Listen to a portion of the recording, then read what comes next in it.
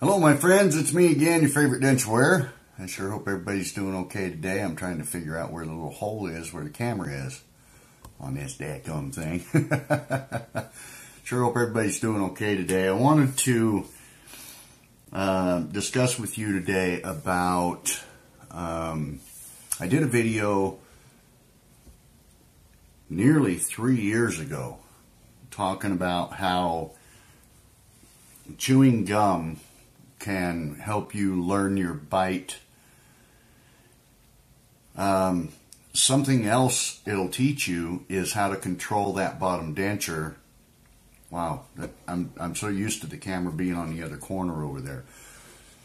It'll teach you how to control the bottom denture if you want to go adhesive free. Obviously, I don't use adhesive. So, I found these these are awesome. Icebreakers, or ice cubes. And these are actually sugar-free. They're very good. Uh, they come in a, in a, variety of flavors. Um, just pop the top open and believe it or not, one's enough. when I was a kid, I used to eat two or three pieces of gum at a time. And with dentures, you can't do, really do that. It, it fills your mouth up too much. So just one piece of gum. And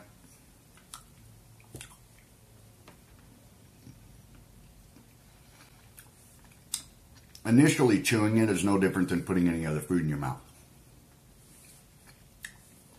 Very good, very sweet.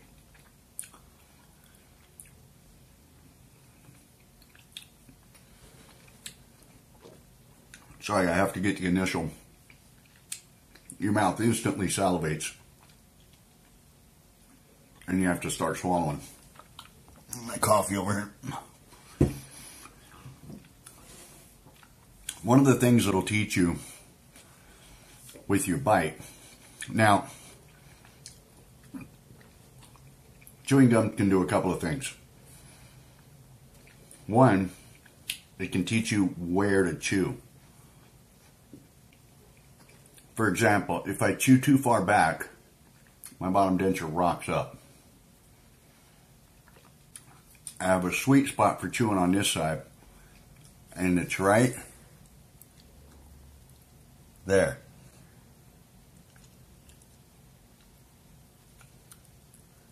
See? No movement of the denture. I have a sweet spot on this side, and it's all the way back.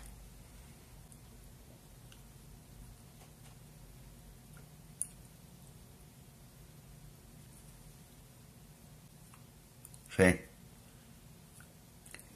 No movement of the denture. So when I chew on this side, I chew closer to the front. When I chew on this side, I chew further to the back. So it'll teach you your sweet spots for chewing if you want to chew on one side or the other instead of both. The other thing it can do is teach you to control your bite. Now, I've tried to show, I keep my tongue on the bottom of the denture, spread out. That helps hold the denture, denture down when I bite. But I talked about pushing on your food, using your thumb to push on your bottom denture, which I don't have to do anymore. I've learned how to control it with the lip. Now, I press my lip against my teeth when I bite. Like that. See?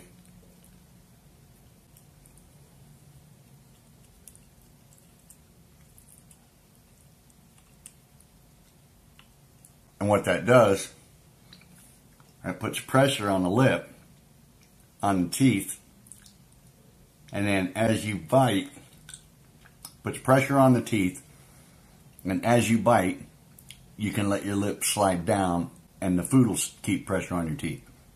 So, if you're eating something, right? So, here's the thing. I know this looks funny. Using my teeth or my lip.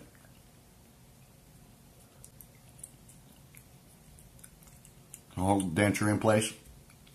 But if I have a sandwich in front of my face, you can't see that.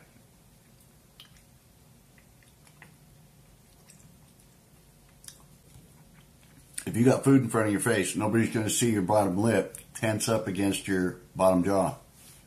They're not going to see it. I know we look at ourselves and we go, oh man, you know, I look silly that way. Nobody can see that. Nobody can see it. Chicken leg. You know, you're eating a drumstick. Corn on the cob. Ribs. They can't see your bottom lip.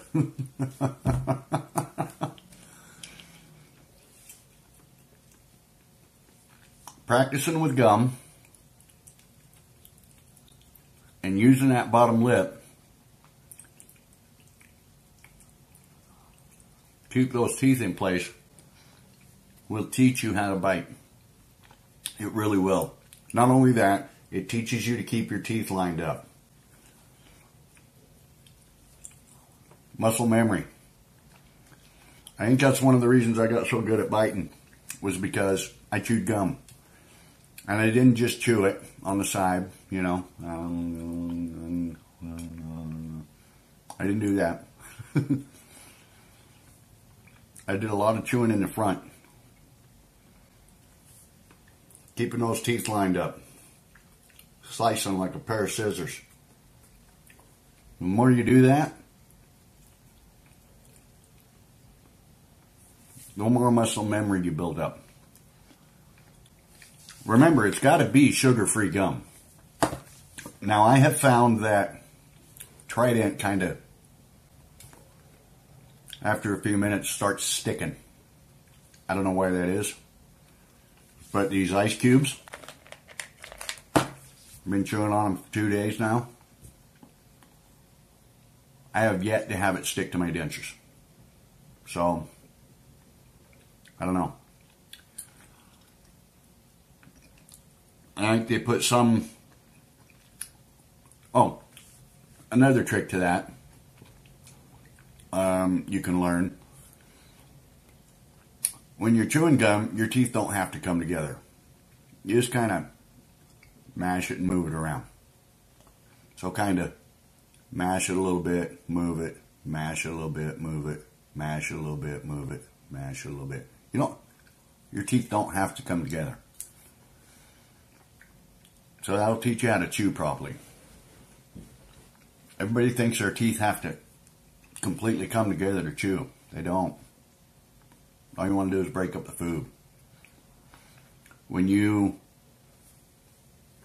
hit a rock with a hammer and it breaks, and you hit it again and it breaks again, and you hit it again and it breaks again, you're not hitting it and going all the way through to the dirt so the hammer and the dirt come together. You don't have to do that with your teeth either. It'll break up the food without smashing your teeth together. I think that's why another reason a lot of people are having so much tenderness when they're trying to eat and why they stay sore for so long when they first get their dentures is because they're trying to smash their teeth completely together to chew food. You don't have to. Now, one thing you can do with gum is you can smash it flat between your teeth all the way together.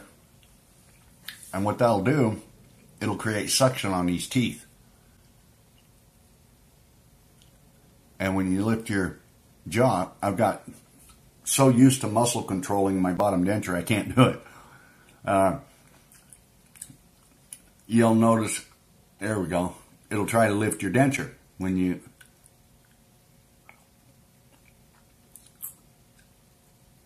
See? Huh. Because the gum gets down in those little holes in your teeth and it creates suction. So another way to learn the muscle control with the lips and the cheek and everything else is bite it all the way down and then separate.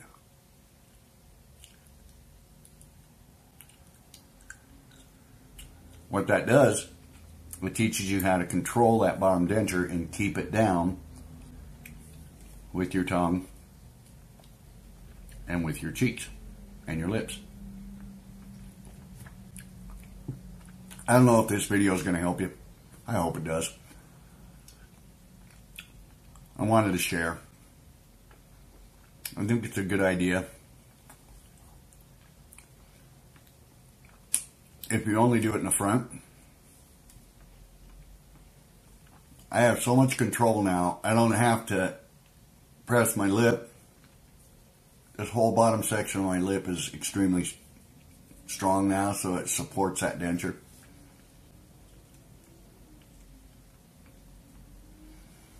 You can do it in the front without opening your mouth.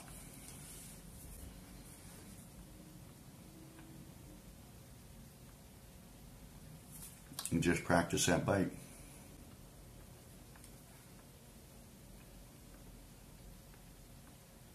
You're building up muscle memory. The more you do that, the more your jaw gets used to the position it needs to be in.